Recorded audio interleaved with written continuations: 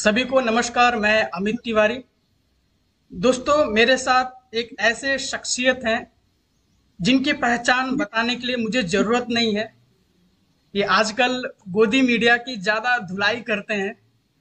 और सबसे यह बात है कि इनको पहले स्टैमरिंग की बहुत ज़्यादा समस्या थी।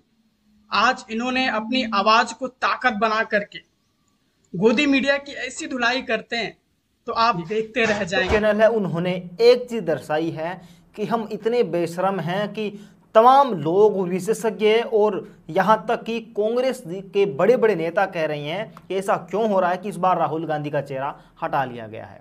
मीडिया ने ये पहले ही भांप लिया था कि ये चुनाव कांग्रेस जीतने वाली है तो उन्होंने ओपिनियन पोल और एग्जिट पोल से वहाँ पर मोदी जी की तस्वीर हटाकर जेपी नड्डा की तस्वीर लगा ली और किस तरीके से आज पूरा दिन मीडिया ने एक प्रकार से खेल खेला और नरेंद्र मोदी की फ़ोटो हटाकर जेपी नड्डा की लगाई। जेपी नड्डा को बलि का बकरा बनाया गया और कांग्रेस अध्यक्ष मल्लिकार्जुन खड़गे की तस्वीर लगाई और राहुल गांधी की तस्वीर नहीं लगाई ताकि ये पता चल सके कि ये चुनाव नरेंद्र मोदी नहीं हारे हैं, बल्कि ये चुनाव जेपी नड्डा हारे हैं। आज हम जानेंगे राकेश जी से कि इनको स्टैमरिंग कब से प्रॉब्लम थी? जी, राकेश जी, नमस्कार। सबसे पहले तो नमस्कार भाई, आपका बहुत बहुत शुक्रिया कि आपने हमें यहाँ पर आमंत्रित किया। आपने हमें यहाँ पर आमंत्रित किया और मौका दिया। तो मुझे रही बात स्टेमरिंग की तो स्टेमरिंग अभी है। ऐसा नहीं है कि स्टेमरिंग नहीं है और स्टेमरिंग चली गई है। तो स्टेमरिंग आज भी मौजूद है, उसी के साथ मेरा जीवन बीत रहा है। और मेरी कोशिश है कि हाँ पहले से थोड़ा बेहतर हुआ हूँ। इस बेहतर को थोड़ा और ज़्यादा बेहतरीन किया जाए ऐसा मैं मानता हूँ। तो स्टेमरिंग की बात रही तो मुझे ऐसा लग रहा है, जहाँ तक मेरे, मुझे याद है और मैंने अपने माता पिता से पूछा है, वो बताते हैं कि बचपन से आपको स्टेमरिंग है।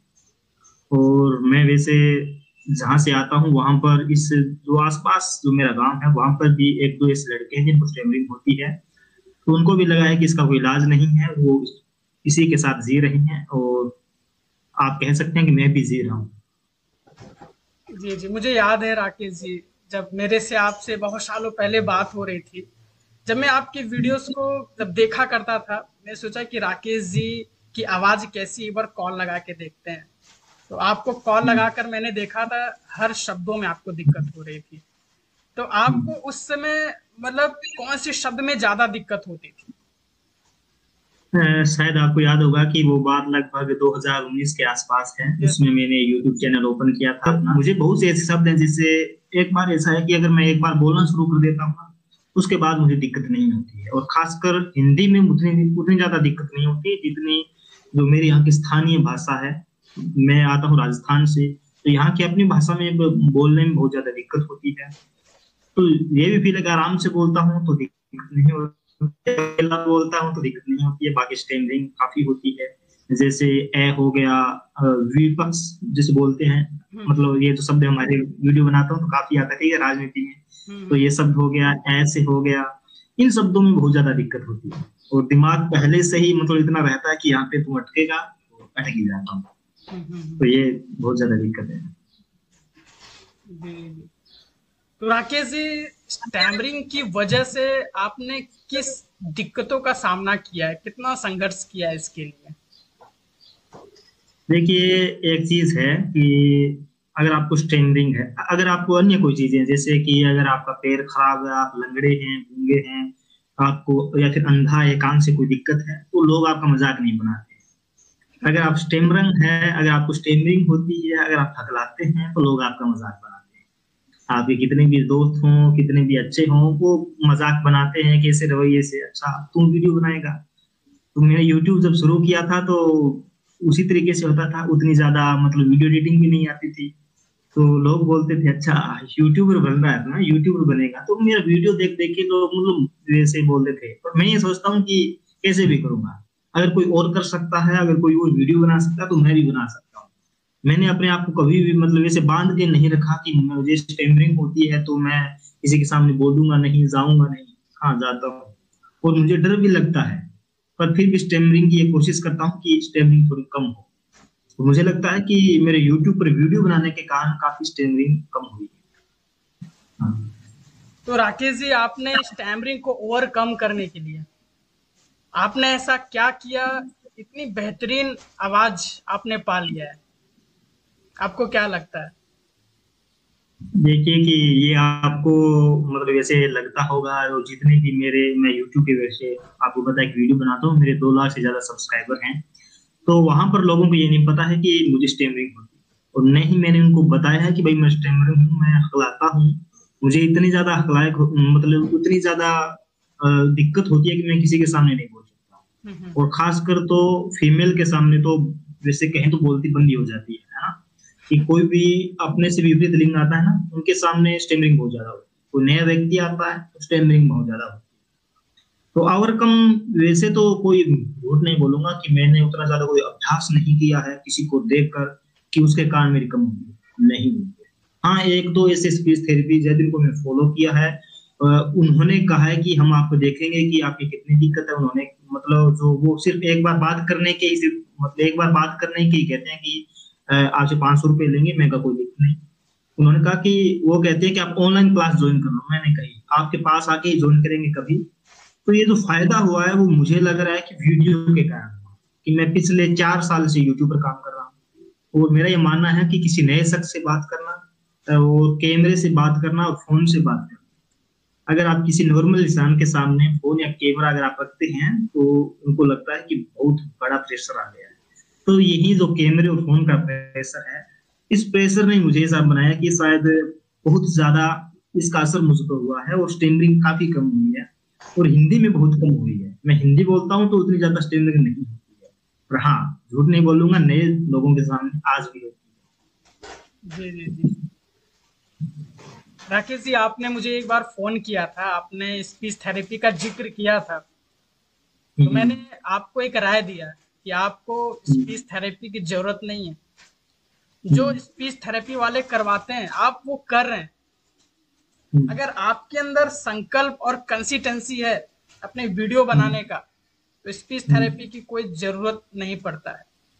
स्पीच थेरेपी उनको ज़रूरत होती है जिनके अंदर वो कंसिस्टेंसी नहीं आ पाता लगातार अपने ऊपर काम नहीं कर पाते। है ना? कि उनको बोलो कि प्रैक्टिस करने को आपको सात दिन तक प्रैक्टिस करना है तो दो ही तीन दिन तक प्रैक्टिस करेंगे हम्म। जैसे स्टैम्पिंग बढ़ती फिर प्रैक्टिस करते हैं फिर छोड़ देते हैं आप हम्म। वैसे भी वीडियो बना रहे हैं इससे बड़ी प्रैक्टिस नहीं हो सकती वीडियो बना करके आप उसे देखते हैं बार बार कि मेरे अंदर गलतियाँ क्या है और हम्म। कौन कौन से शब्द में मैं अच्छे से नहीं बोल पा, पाया फिर आप दोबारा ट्राई करते हैं तो बहुत हम्म। बढ़िया प्रैक्टिस है ये आपको स्पीच थेरेपी की ज़रूरत नहीं है आप वैसे भी इतने आगे चले गए हैं और आपकी तरह बनने के लिए बहुत लोग सपने भी देख रहे हैं। हाँ शायद ये आपको लग रहा हो कि कि मुझे आवश्यकता नहीं है क्योंकि आप उस फ़ील्ड में हैं तो आपको उतना तो अनुभव है।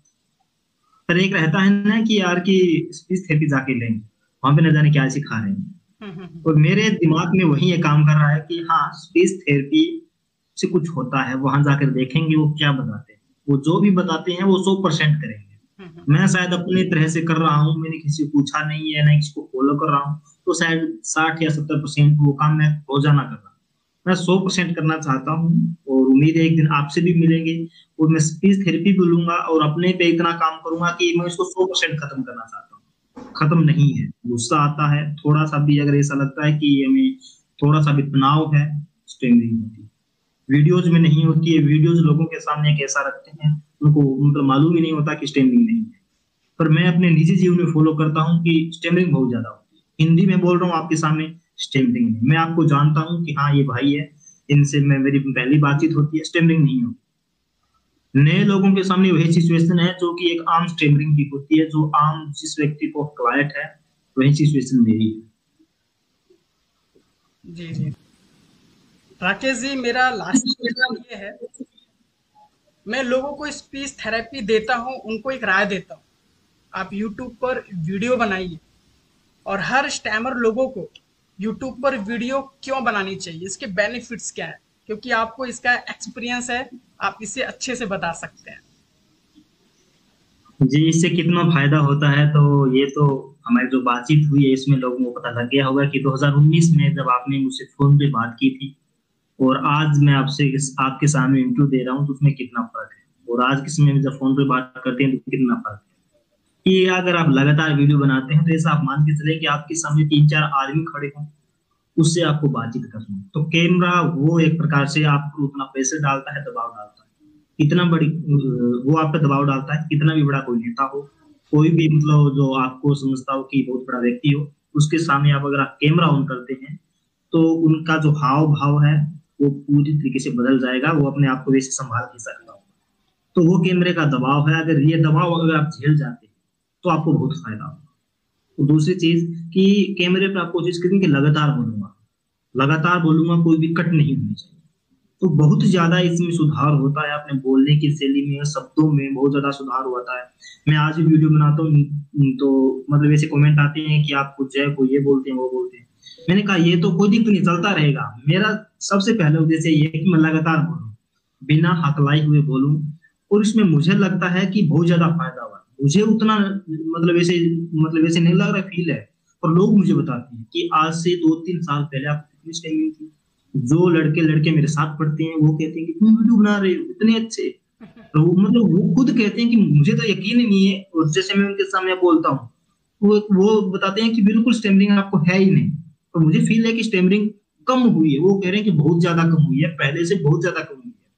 जैसे मेरे लगभग आठवीं नौवीं पढ़ता था, उसमें मेरे टीचर थे। वो मुझसे यूट्यूब के ज़रिए आज मतलब मेरे पास आए हैं मेरे मुझसे जुड़े हैं। तो वो कह रहे हैं कि मुझे तो यकीन ही नहीं हुआ कि आपको उतनी ज़्यादा स्टेमरिंग आती थी और आप यूट्यूब पे वीडियो बना रहे हैं और आपकी स्टेमरिंग इतनी कम हुई है। तो यूट्यूब से आपको इतना फ़ायदा मिलेगा, मैं आत्मविश्वास के साथ कह सकता हूँ। मैं पिछले चार सालों के एक्सपीरियंस के साथ ही आपको बता सकता हूँ कि बहुत ज़्यादा फ़ायदा मिलेगा।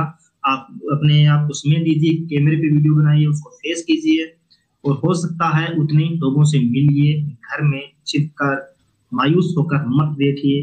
ज़िंदगी है, वो कहते हैं ना कि ये हमारी ज़िंदगी एक आइसक्रीम की तरह खाओगे तो तो आप मज़ा लोगे, वरना ये तो पिघलनी तो वैसे ही है। तो स्टेमरिंग के साथ जीना या इसके साथ जीना या नहीं जीना वो अलग बात है। परंतु तो जीना ज़रूर है, खुलकर जीना है, किसी से डरना नहीं है स्टेमरिंग है तो बाहर नहीं इन चीज़ों से बाहर निकलना होगा आपको और लगातार कोशिश करनी होगी। ये मैं आपको कह सकता हूँ। बहुत ही बढ़िया राकेश जी, आपने बिल्कुल शालीनता से अपना समय लेकर के अपनी बात को बोला है और इसके लिए बहुत बहुत धन्यवाद। आपने अपना कीमती समय निकालकर इंटरव्यू दिए हैं। थैंक यू सो मच आपको भी बहुत बहुत धन्यवाद। तो उम्मीद है कि हम भी बहुत जल्द मिलेंगे। आपसे स्थिति भी लेने आएँगे, ऐसा मैंने सोच रखा है।